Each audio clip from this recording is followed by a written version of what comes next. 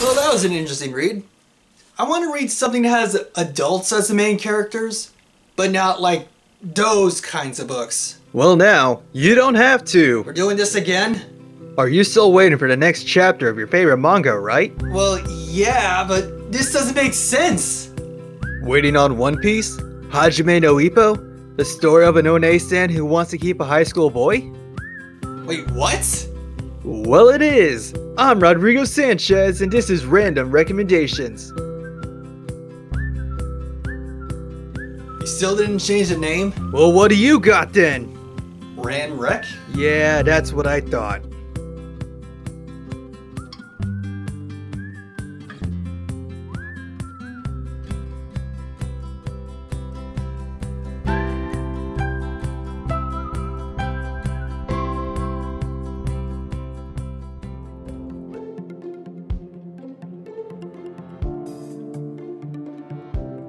Keiichi Oda, your average salaryman. Fun fact, we didn't know his name until chapter 4. It all started one rainy morning where Oda is on his way back to work. He took some cover next to an apartment window, and that's where everything changed. The window opens up, and a lady pops out to smoke. She notices him and quickly slams the window on him. Before he could say anything, she sticks a note to the window Suddenly, the window opens again and Madoka dramatically changes her room into a food stand. Well, it is important to have breakfast. It's better than what I got.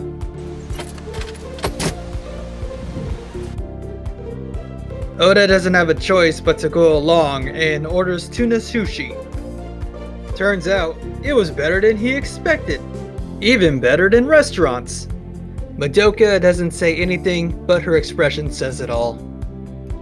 She's like Komi-san, but more spontaneous and easier to read. He decides to order another item, and he realizes the rain finally stopped. He forgot he's late for work and needs to take off. Madoka hands him a bill before it's too late. She will get her money one way or another. Turns out, it was a total of 432 yen, or roughly $4, or 2,939 Malawian kwacha. Okay. And that is the end of chapter 1. Now, it's all up to you.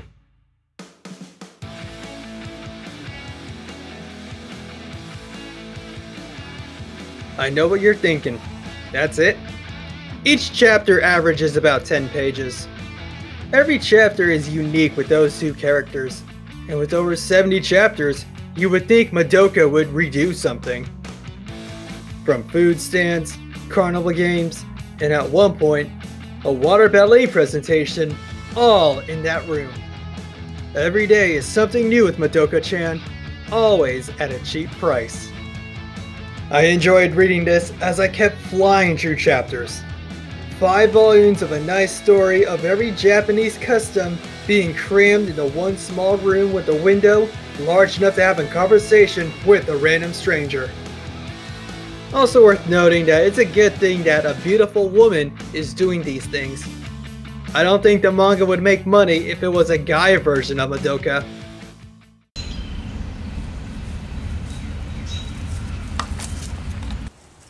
Hey! Want some candy?